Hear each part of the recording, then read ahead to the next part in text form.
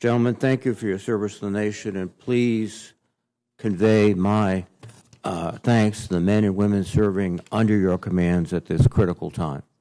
The Department of Defense has appropriately identified China as the pacing threat for the United States military. In the next decade, the Indo-Pacific region is projected to generate two-thirds of the global economy and be home to two-thirds of the global population, and we must calibrate our strategy accordingly.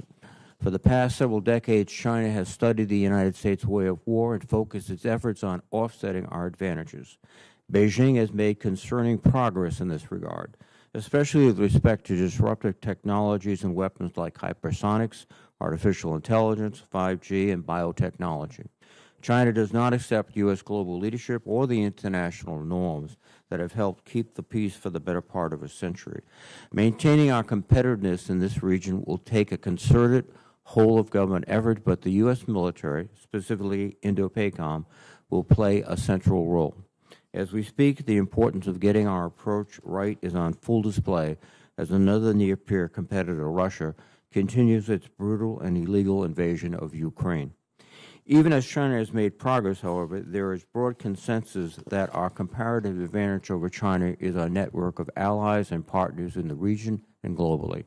Strengthening that network should be at the center of any strategy for the Indo-Pacific region, and the maturation of the Quadrilateral Security Dialogue, or QUAD, involving the United States, Japan, India, and Australia, presents an opportunity to establish a durable framework. It is my hope that the Quad, as well as Korea, will pro provide a platform for engaging other regional partners. The most likely flashpoint that could turn our competition with China into a conflict is Taiwan. If China is the pacing threat for the Defense Department, Taiwan is the pacing scenario. Following the brutal repression of pro-democracy demonstrations in Hong Kong by China over the past two years and the unprecedented number of aggressive Chinese military incursion into Taiwan's airspace, the world has a right to be concerned. There has been discussion in the last year regarding whether we should be more explicit about coming to Taiwan's aid militarily if they are attacked by China, the so-called strategic ambiguity versus strategic clarity debate. In my opinion, we should maintain the policy of strategic ambiguity that has helped to maintain the peace in Taiwan Strait for decades. More than anything, changing our policy to strategic clarity could actually lead to escalation and the very conflict we are working so hard to prevent.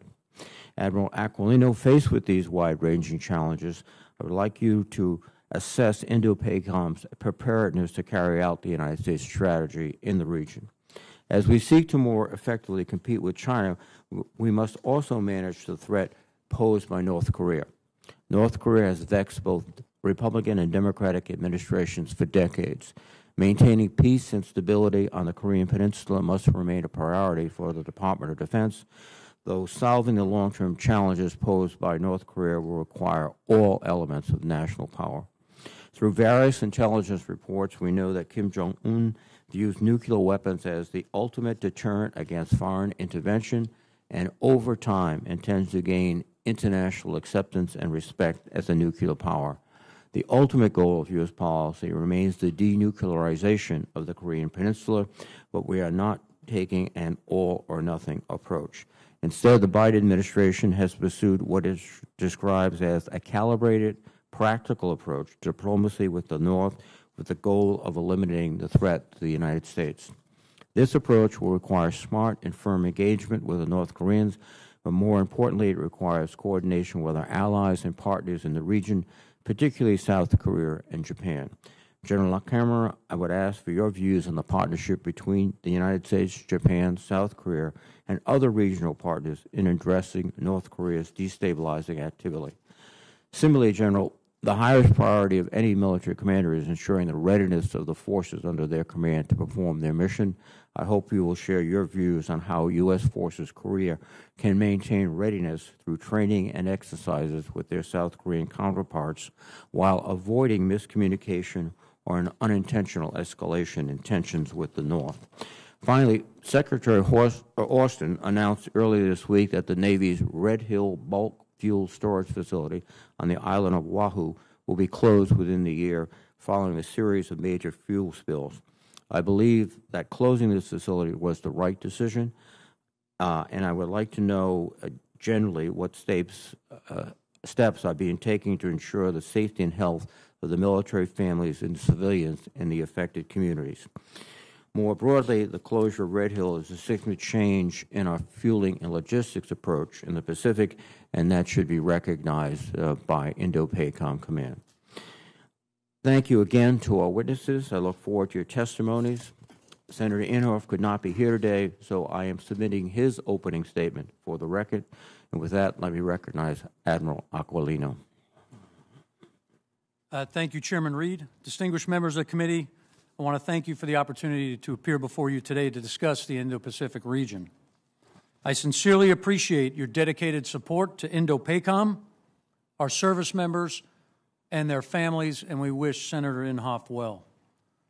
The People's Republic of China is the most consequential strategic competitor to the United States.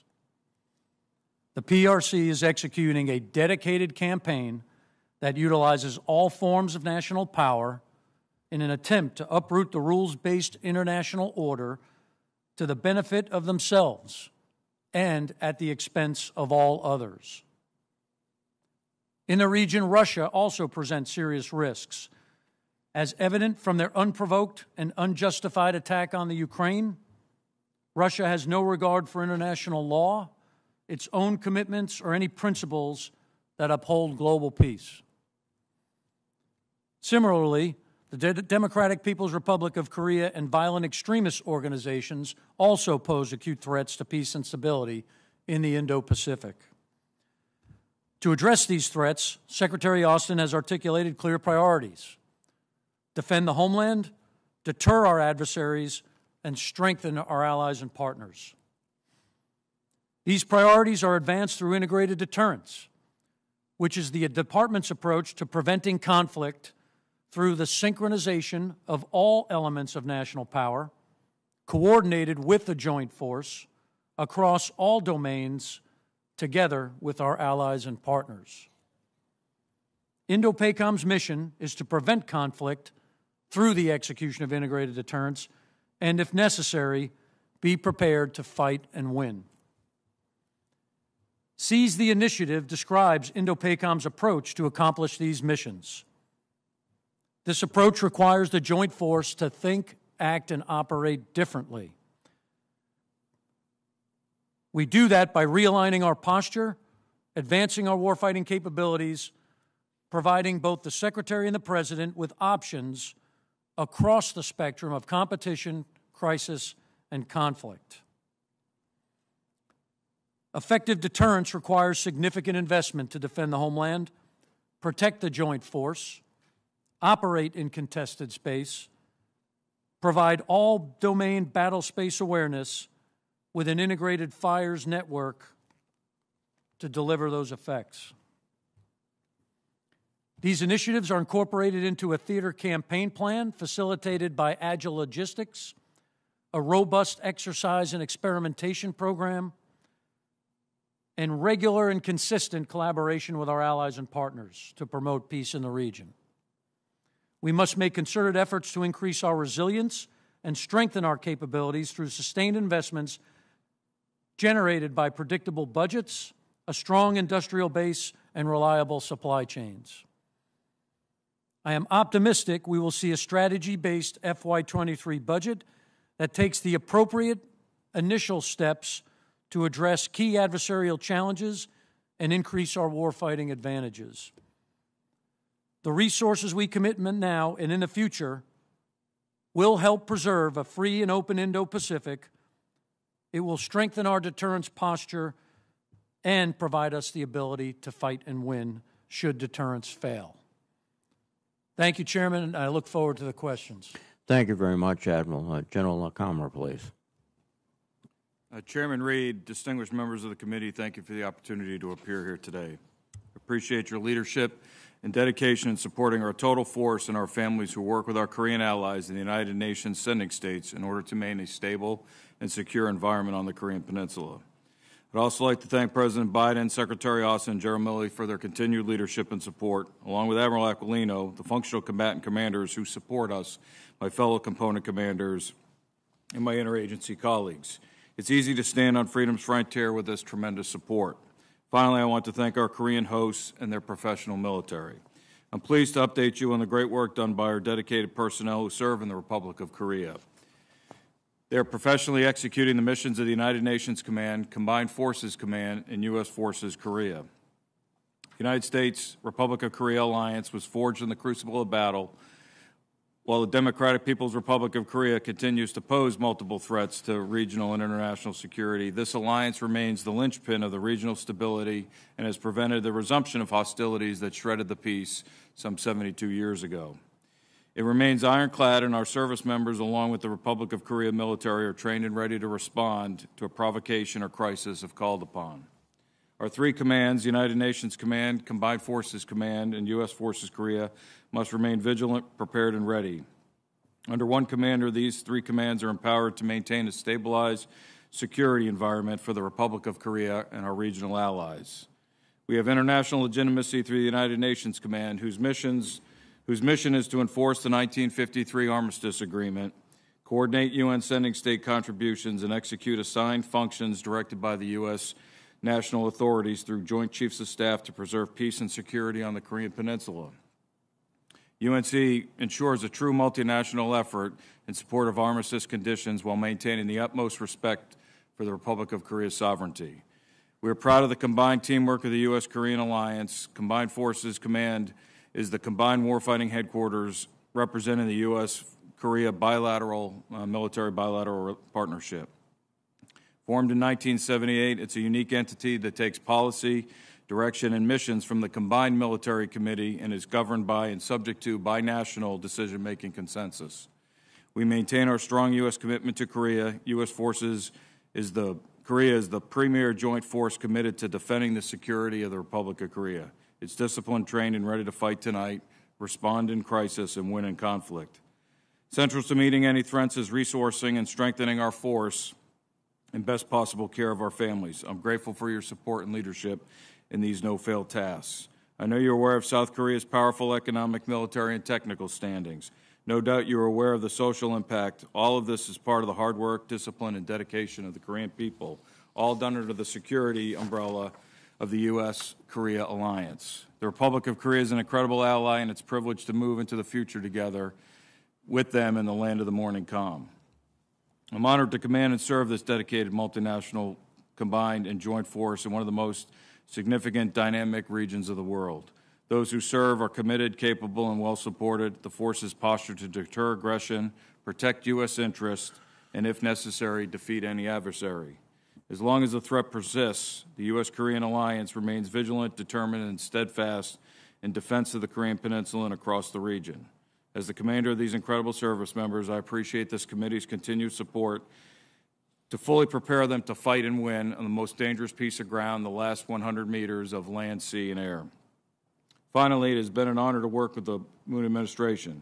Congratulations to President elect Yoon. We look forward to working with his administration to strengthen the U.S. ROK alliance and take on regional challenges. Thank you for the opportunity to provide an opening statement. I look forward to your questions. Thank you very much, General. Uh, Admiral Aquilino, Taiwan has historically uh, purchased expensive platforms uh, rather than asymmetric uh, systems, which may be more relevant in an actual uh, conflict with China.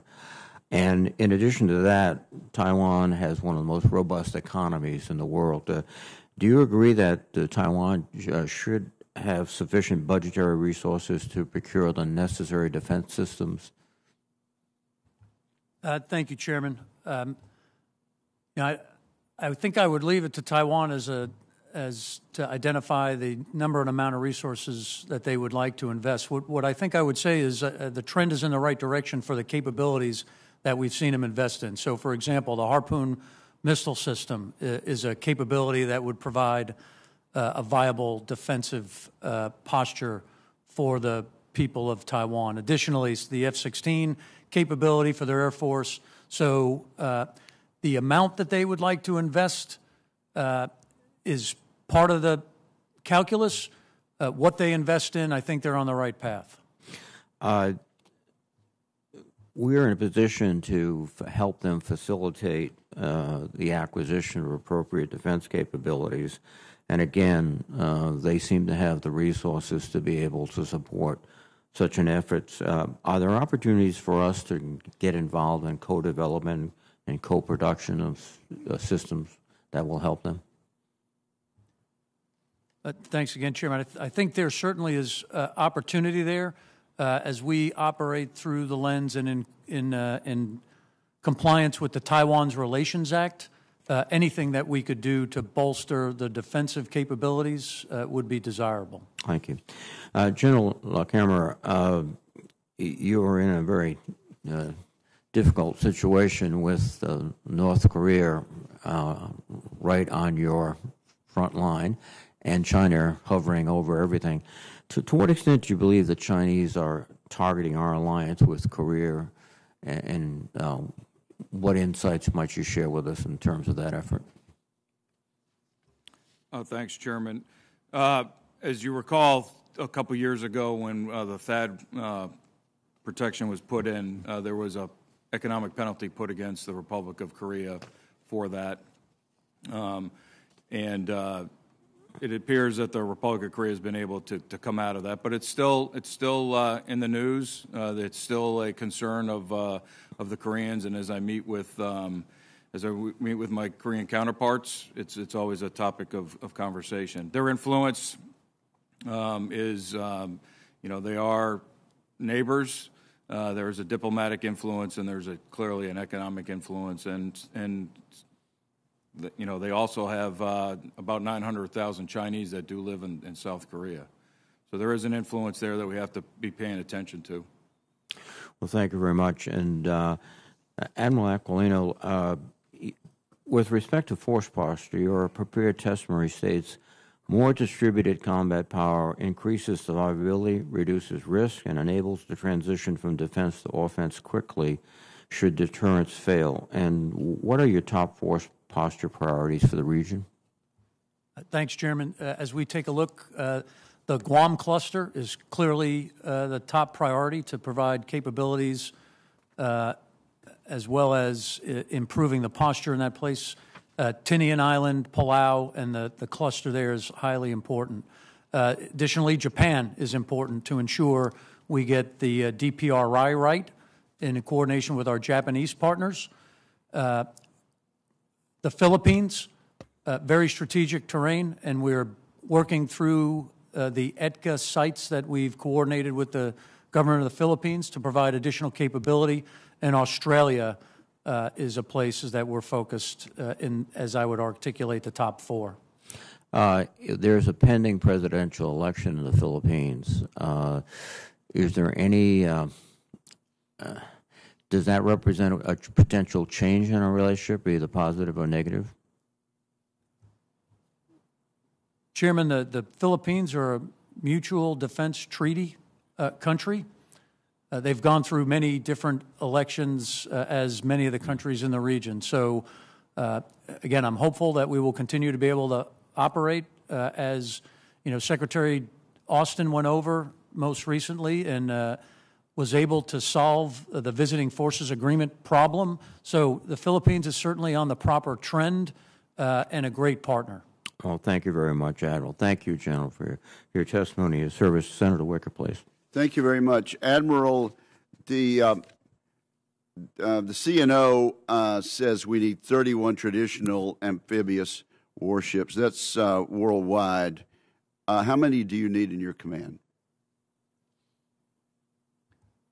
Uh, Senator, if it's okay, I'll uh, get back to you uh, on the record for that uh, as a classified event.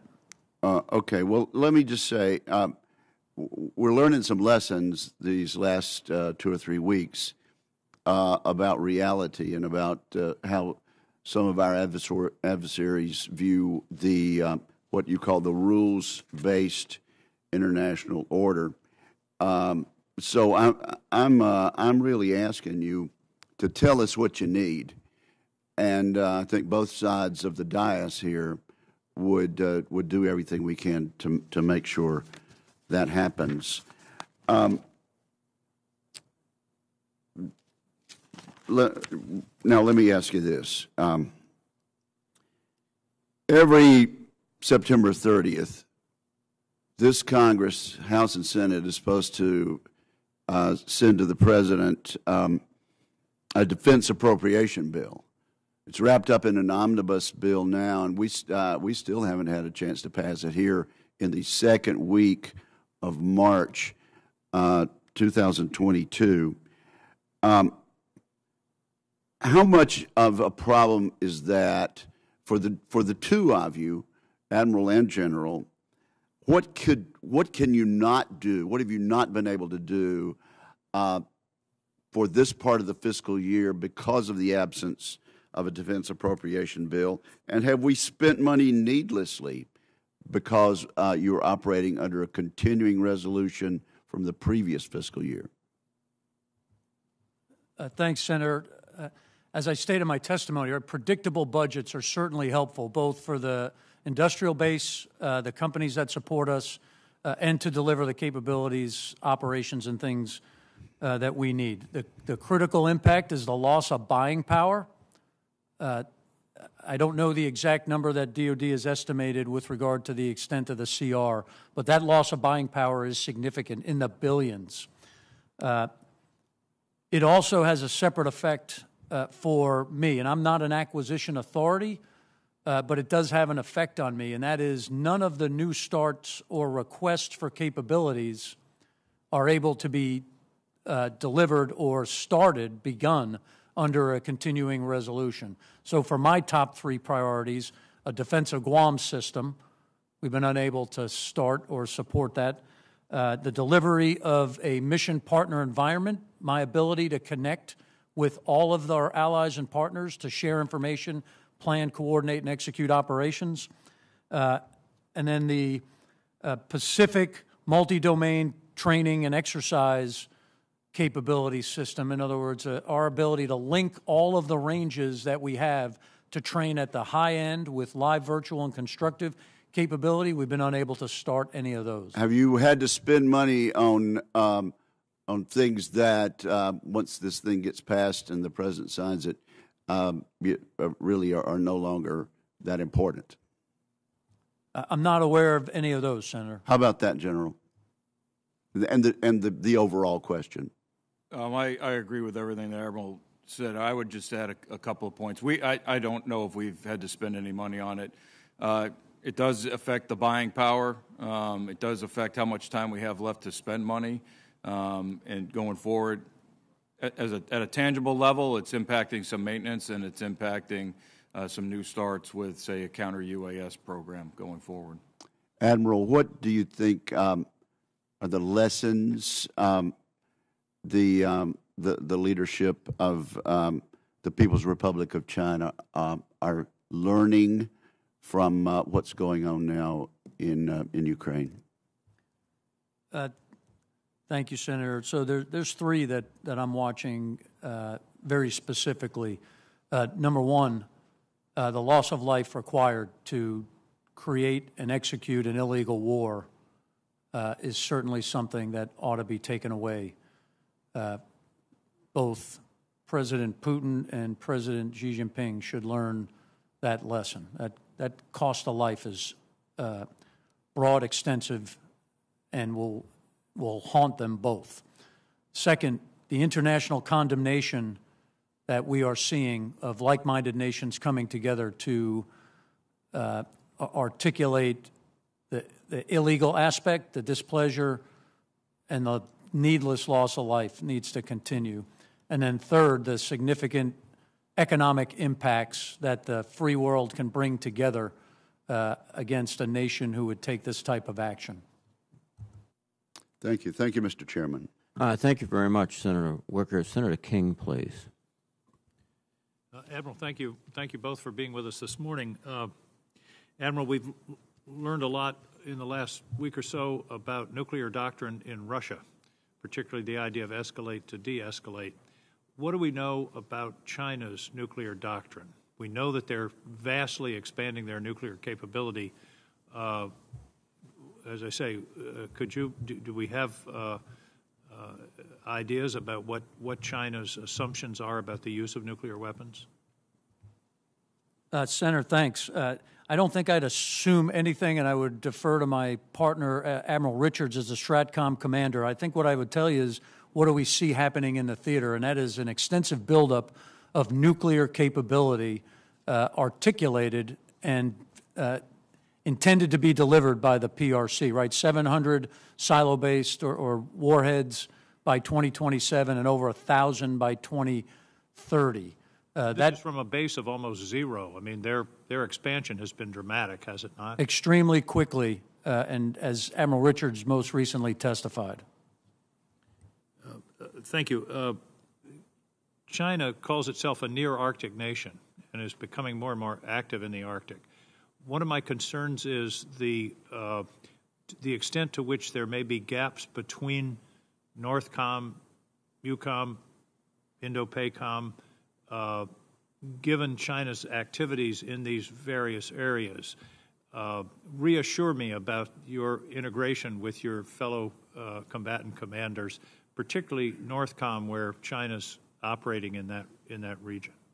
Thanks, Senator. And as you know, Northcom is actually the lead for the Arctic. So we coordinate uh, persistently with uh, General VanHerck, General Wolters. Uh, some of the examples, you know, in the most recent Russian submarine came from the North Fleet over to the Pacific Fleet, uh, we monitored and watched that uh, as it crossed combatant commander lines. Uh, General VanHerck, uh, I support him for the long range aviation flights or any threats that emit from uh, the northwestern portion of either from Russia or China as it applies to the Homeland Defense mission, no matter what path they take. So our cooperation and collaboration is persistent. Well, if part of our new strategy in the in the Indo-Pacific is dispersal, wouldn't uh, a reinvigoration of Adak make some sense, given its strategic uh, position? Again, it's in Northcom, but it's pretty darn close to, to Indo-PACOM as well. Uh, Yes, Senator, and, and uh, we've used Adak uh, most recently in an exercise uh, in about a, I think about a year ago uh, for a combined Navy Marine Corps event from that area. So clearly a strategic location for both defense of the homeland and to be able to project power forward. Uh, we have to take a look at the length of the runway there for some future operations. Thank you. I, I, I hope that's under consideration because we don't want to, again, if dispersal is the goal, we don't want to concentrate everything in Guam, for example. Uh, we want to present problems for a potential adversary. Uh, General, uh, I've been concerned on an ongoing basis with the relationship between South Korea and Japan. Uh, a, where does that stand? And B, does the new administration have any, did they come into, with, into this election season, which concluded yesterday, with any uh, stated position about uh, strengthening or uh, further weakening the relationship between two countries which are important allies to us? Uh, Thanks, Senator. I, I'm not aware of any specifics, but I think as President Yoon talks about um, uh, security as a top priority, uh, that my best military advice is, and I think the military leaders and my Korean counterparts truly understand uh, the importance of a U.S. ROK and a ROK-Japanese uh, relationship, and that is uh, one of my top prior- priorities as a commander of USFK and CFC. I appreciate that, and I hope that is a, is a priority to try to foster that relationship and improve it, because in a time of conflict, as we've learned, uh, allies are essential. Winston Churchill once said, "The only thing worse than fighting with your allies is fighting without your allies." Uh, Thank you, General. Thank you, Mr. Chairman. Thank you very much, Senator King. Senator Rounds, please. Thank you, Mr. Chairman. Uh, Gentlemen, let me begin by just saying thank you very much to you and your families for your years of service to our country. Admiral Aqu- uh, Aquilino, the space and cyber domains are where we are seeing a lot of activity and pose a real threat to our national security.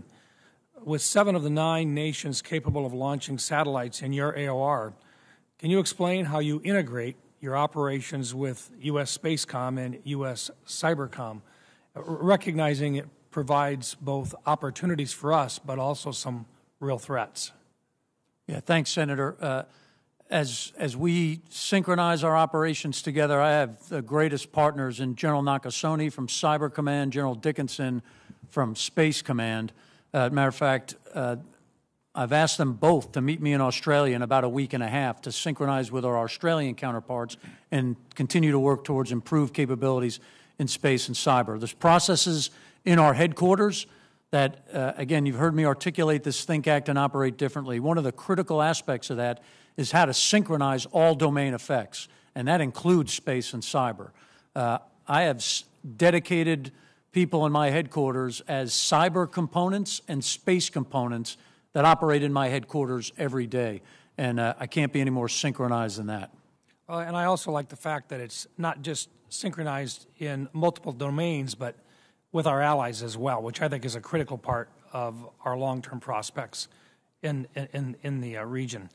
Uh, General LaCamera, uh, it's been brought to my attention that our servicemen and women and their families are required to receive a rapid test for COVID for them to return to Korea.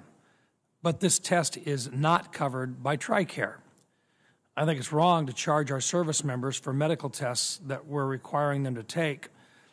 Can you perhaps explain to me what this does to these uh, young men and women and what the costs involved are, and perhaps give us some reasoning as to maybe why we should take some action immediately to, to resolve this? Yeah, th- thank you, Senator. Uh, if they're departing on, if they're on official travel orders, uh, that's covered. They can they can claim that. Uh, if they're departing on leave, I'll test them uh, for any any uh, requirements leaving the Republic of Korea. But coming back in, there are ways that they can get it from CVS from you know uh, out on the economy. The, the, challenge becomes if they don't get it in time. then they have to pay out of pocket to make sure that they can get back into the country uh, the requirement is 48 hours right now, and it's currently not covered under TRICARE. And again, it just, you know, so soldiers, sailors, airmen, Marines, they want to do the right thing. They want to come back in. They're, they're paying out of pocket. And currently, right now, I believe I do not have the capability to reimburse them. Thank you, sir. Uh, I have one more question for Admiral. Uh, the Indo Pacific AOR has been described as the most consequential region of America's future.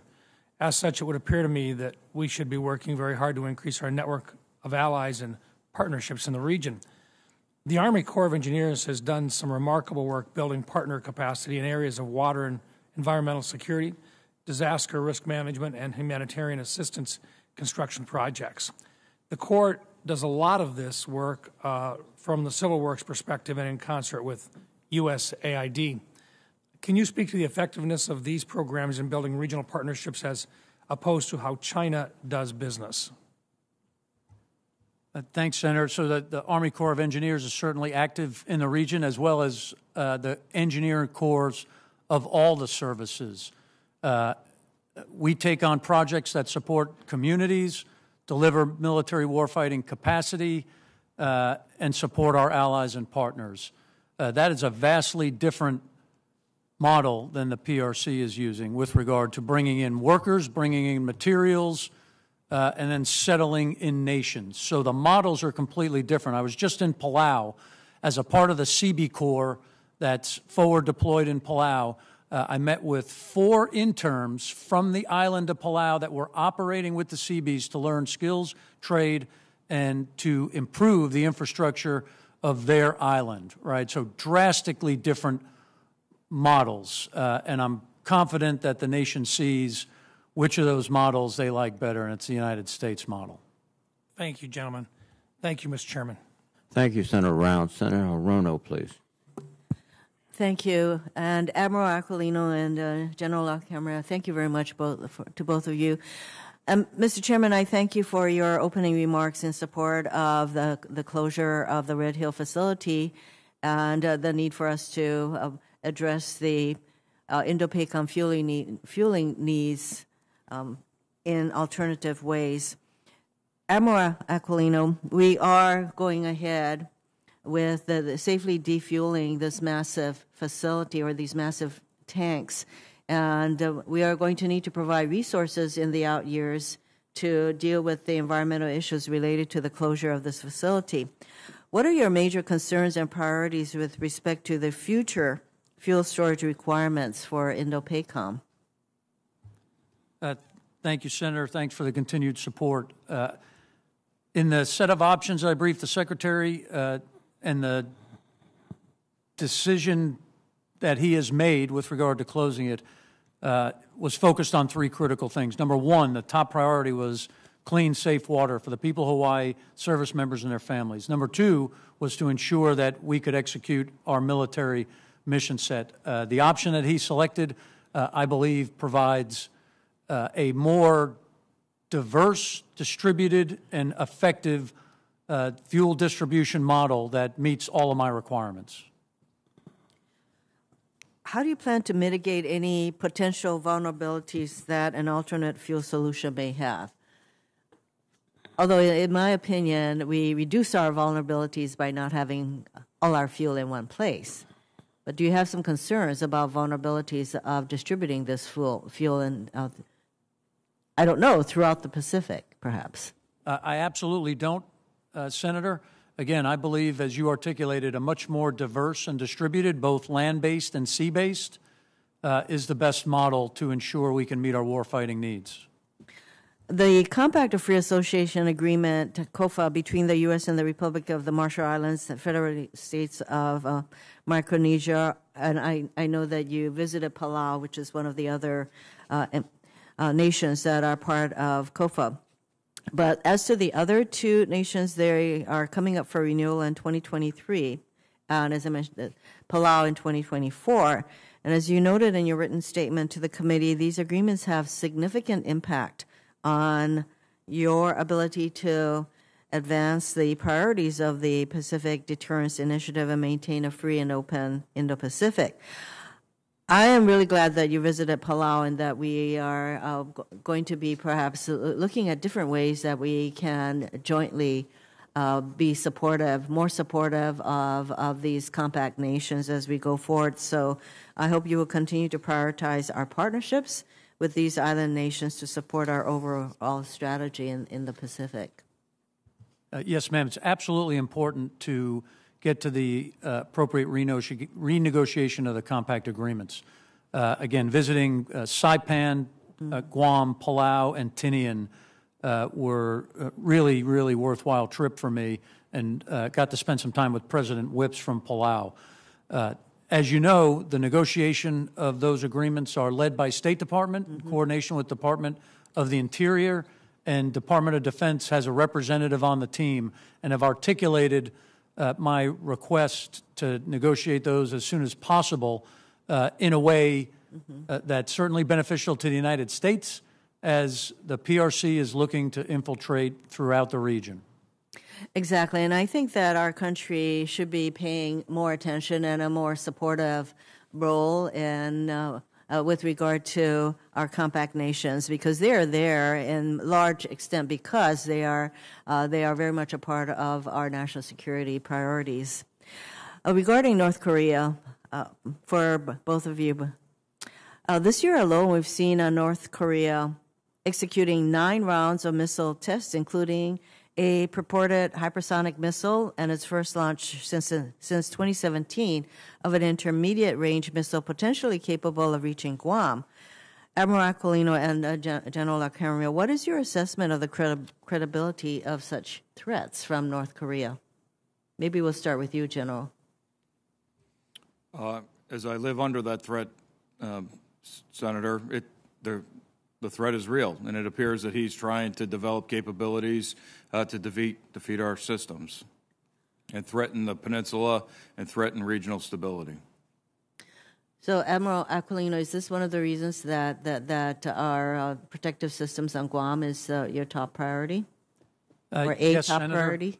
Absolutely, the ability to defend uh, the homeland uh, of Guam as well as the military forces that operate there. What, what I would say, though, is the relationship we have with uh, the South Koreans and the Japanese is critical. Uh, General LaCamera and I synchronize with General Won and General Yamazaki every time there's one of these launches. And if you just recently read, we've increased the readiness level on both the peninsula uh, and in support of the defense of Japan today. And Mr. Chairman, I want to note, not to mention the need to protect Hawaii as we develop these missile systems, uh, defense systems in Guam. Uh, we do still have the issue of uh, Homeland Defense Radar Hawaii. Thank you, Mr. Chairman. Thank you, Senator Reynolds. Senator Cotton, please. Admiral, last year your predecessor, Admiral Davidson, warned that China may invade Taiwan in his words, quote, the next six years. Uh, that was a year ago. In your best military opinion, does that forecast still hold? Uh, thanks, sir. I was going to start with who said that? Admiral Davidson. No, I know. I don't even think about that last guy anymore. Uh, I think that uh, his articulation was based on a couple of different points, but we'd have to ask Admiral Davidson how he came to that.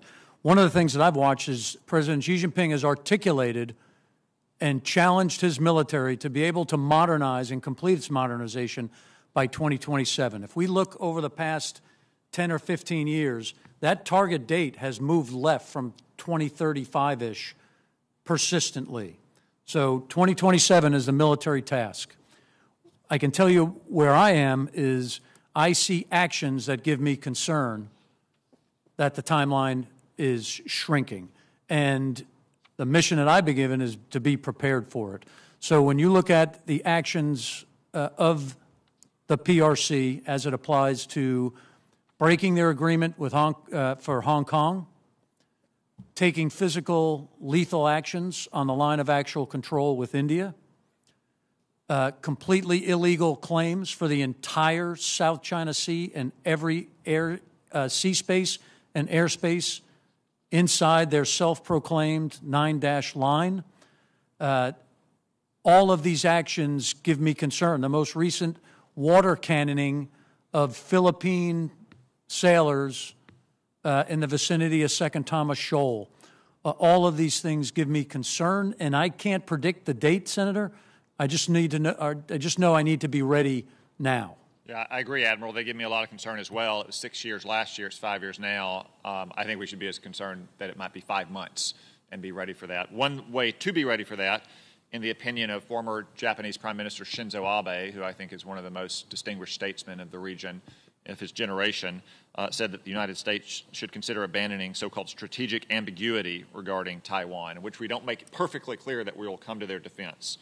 Given what we've seen in the invasion of Ukraine, and what we understand about China's intentions based on what you just said, uh, should we make it clear to Beijing that we will, in fact, come to Taiwan's defense uh, if Beijing attacks Taiwan? Uh, Senator, as you know, uh, we, uh, we currently are in execution of the and support the One China policy. Uh, I think what I would say is strategic ambiguity has served us very well for the past 40 years.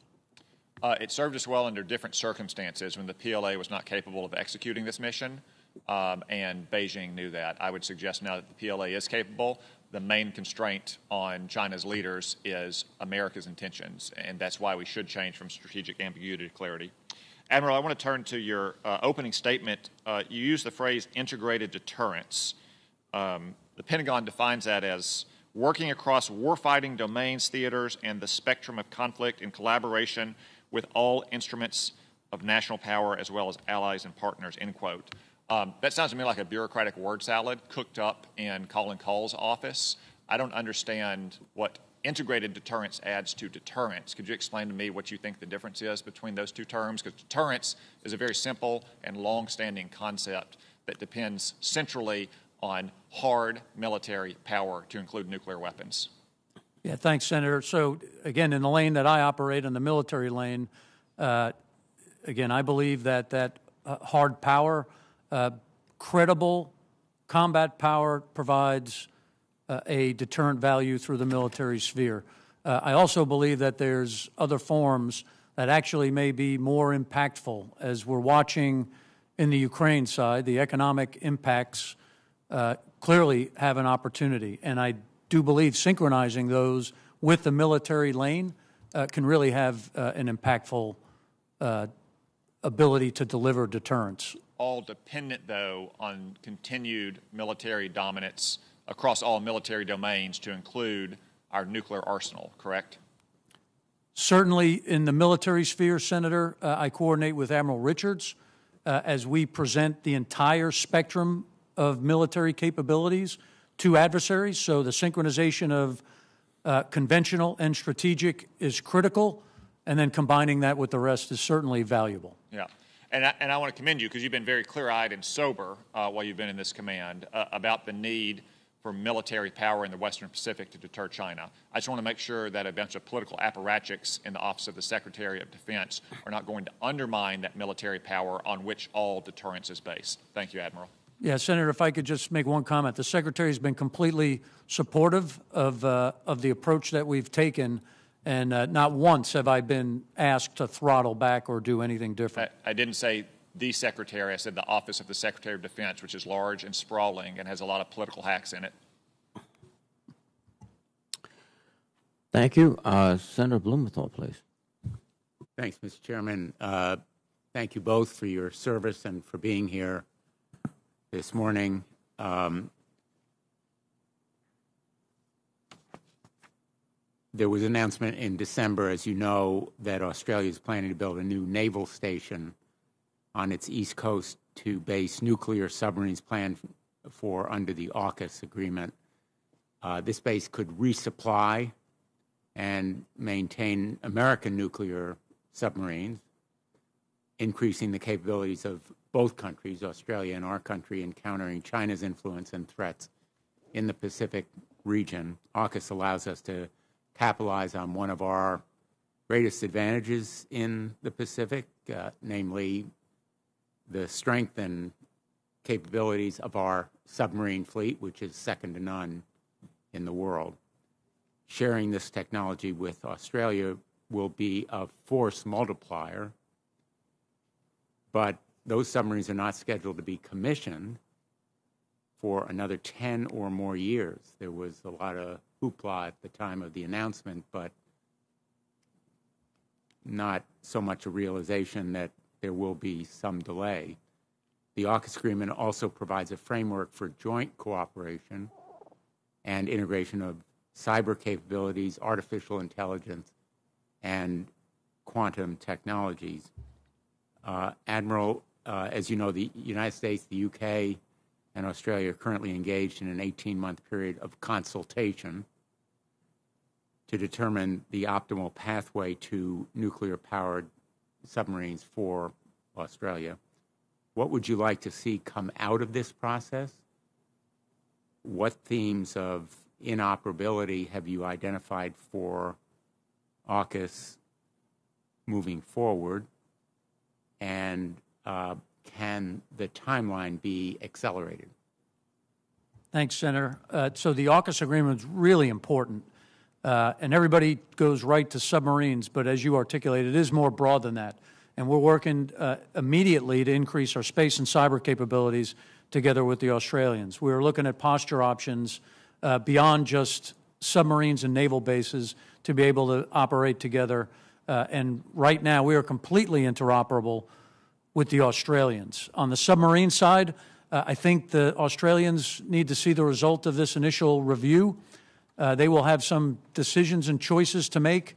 Uh, and then I think there's ways to bridge to that development uh, when, as they work to get to the infrastructure, uh, and then we review the additional basing com, uh, you know, options that you just articulated. We would love to go as fast as possible. We certainly have to be mindful of the nuclear reactors and the safety of those things as we, as we work this forward.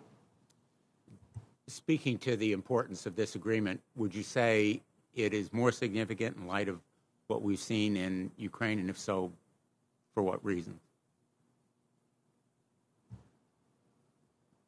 I, I don't know if I would compare it on the Ukraine side. I think as I look at the theater uh, that, that we operate in, uh, there's a vast number of basically multilateral relationships that are important uh, when you think about ASEAN, when you think about a trilateral relationship with uh, South Korea, Japan, the United States, uh, this is just another one of those multinational agreements that provide both uh, a military capability and capacity uh, that's important for the region. And uh, do you think there is the opportunity or the potential for accelerating the timeline?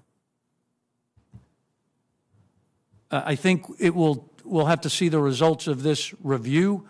Uh, I guess what I would say is this really won't happen quickly. If we can get from 10 years to eight years, boy, that'd be, that'd be Herculean. And where do you think the submarines will be built? I know the Australians certainly would like to have that capac- industrial capacity. Uh, I think having an additional industrial base in another place for us is, is possible. But as you know, uh, all of the United States submarines are built in Connecticut. I know. Rhode Island. And, and Rhode Island has a role to play as well. Thank you very much, Admiral. Thank you, Senator Blumenthal. Senator Ernst, please. Yes, thank you, Mr. Chair. And, and again, gentlemen, thank you very much for being here. Um, General LaCamera, let's uh, start with you. We have seen a lot with the, the Russian invasion of Ukraine, and it just uh, hammers home how connected uh, the world is and the responses that we see from democratic nations. Uh, we've heard a lot about how EUCOM and Indo-PACOM are totally different theaters, uh, yet the responses from the Japanese, the Australians, the South Koreans when it comes to Ukraine have surprised a lot of people. Um, what what do you think about the Allied responses uh, to the invasion of Ukraine? And can you shed some light on how all of these different regions are interconnected? Uh, thank you, Senator. Um, as I sat down with the Minister of Defense before uh, coming to Washington, D.C., and I told him we were paying attention to what's going on there. It's not a blueprint, but it can be instructive to large scale combat operations um, on the Korean Peninsula and in, and in the region. And we need to be paying attention to that, boil it down to its fundamental lessons. But I think, as discussed already several times, you know, the power, our, our true asymmetric advantages are our alliances um, and having a coalition. Um, and so I think it, re- it continues to reinforce the importance of making sure that we have that strategic and international depth, and we have the we can take everybody's capabilities and put it together um, as an asymmetric advantage. I, and I think that is uh, well said. Uh, there are so many connectivities, uh, ways that we work with allied partners around the globe that just um, become force multipliers no matter what that theater. Um, so I am going to continue on some of that interconnectivity that we have. I know we were having a fuel discussion earlier, so I'm going to direct this one uh, to the Admiral. Um, in light of the energy crunch that we have now with the Russia invasion of Ukraine, it's my understanding that, that our military has fuel contracts with the Japanese and South Korean refiners, but much of their oil does come from Iran and others. Uh, have you taken a close look at our DLA's energy contracts for Indo-PACOM, and is that a strategic concern? Uh, thanks, Senator. Uh, uh, we certainly keep a look at the refinery capability around the globe and how it might impact. Uh, I haven't looked down to the second, third order effects uh, as we coordinate with Japan, Korea, and the host nations. Uh, I'd be glad to take that on with DLA to see where those vulnerabilities might be. Uh, I would appreciate that because again, uh, there there is so much that goes on under the surface. And if we are relying upon Iran and other adversaries, just as we're seeing in our own economy right now, we're so reliant upon Russia. Russia is using those dollars to fund their war machine. The same could be said of a, a number of other peer, near peer adversaries like Iran. The dollars they are generating from their oil then also goes to fund uh, terrorist activities, proxy activities around the globe. Um, so we are all interconnected, going back to what General LaCamera said. We have various strategic alliances, but we also need to look at where our adversaries are and how we can rely on partners for solutions rather than just focusing on folks like Russia and Iran and others.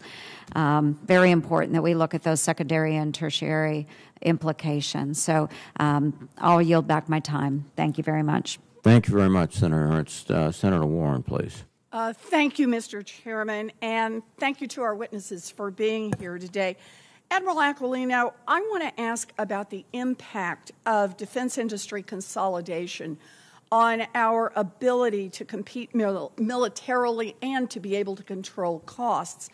So, last month, the Department of Defense issued a disturbing report finding that defense mergers and growing concentration is reducing the number of suppliers and creating vulnerabilities in our supply chain. And of course, that's because when only a small number of companies produce components that DoD needs to buy, a pandemic or a single company's decision to cease production can leave us without the parts that we need. Or instead of ceasing production, those companies can just jack up profits to make uh, jack up prices to make more profits without fear of being undercut by competitors. So let me ask, uh, Admiral Aquilino, do you consider hypersonic weapons to be an important priority? Yes, ma'am hypersonic weapons is one area where the DoD report is particularly alarming, warning that vertical integration of those contractors and suppliers, quote, will likely lead to reduced competition and may eliminate it altogether. Do you agree that DoD generally benefits from competition among defense contractors and suppliers? Uh, Senator, let me just start by saying I don't have any acquisition authority, uh, but competition is certainly the foundation of our free market. Uh, well, it's not only a, a, a, foundation of our free market, you're absolutely right, but it's how we assure that we're going to have supply and we're going to have it at a price that we can afford. That's why I've been concerned that DoD is asleep at the wheel when it comes to mergers and acquisitions. Since the 1990s, we have gone from 51 aerospace and defense prime contractors, down to just five today.